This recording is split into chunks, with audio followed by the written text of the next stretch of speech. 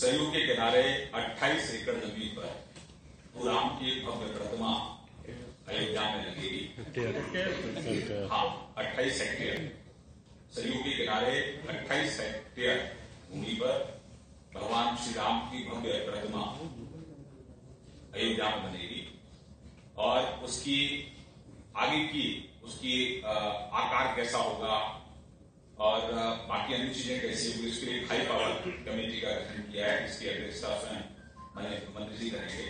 और इसमें सबसे बड़ी बात यह है कि इसमें जो पैसा लगने वाला है, वो सीएसआर की तरफ़ से लगने वाला है।